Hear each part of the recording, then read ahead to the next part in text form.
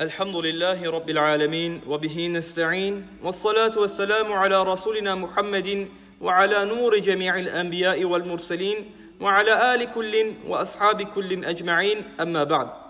Dans un hadith rapporté par Bukhari et Muslim, Anas ibn Malik radiallahu an, relate que notre prophète sallallahu alayhi wa sallam a dit لا يؤمن أحدكم حتى يحب لأخيه ما يحب لنفسه Aucun d'entre vous n'aura vraiment la foi jusqu'à ce qu'il aime pour son frère ce qu'il aime pour lui-même.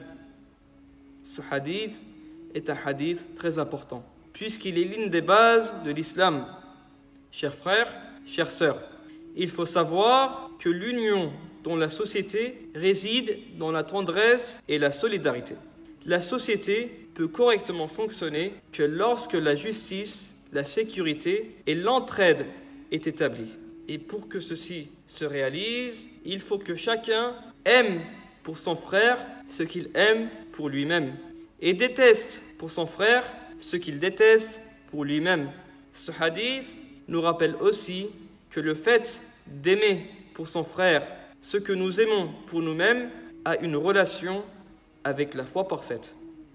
Effectivement, la foi parfaite réside dans le cœur que lorsque ce dernier agit dans le sens du bien et fuit l'égoïsme et la haine. Ce hadith nous rappelle aussi que le fait d'aimer pour son frère ce que l'on aime pour nous-mêmes contribue pour fonder une société de qualité, puisque la perfection et l'amour du bien pour les autres résident dans les cœurs des personnes qui forment cette société.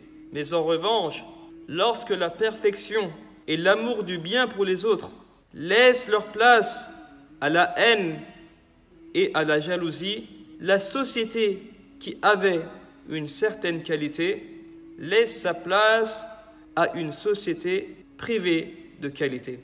وآخر الدعوانا أن الحمد لله رب العالمين السلام عليكم ورحمة الله وبركاته.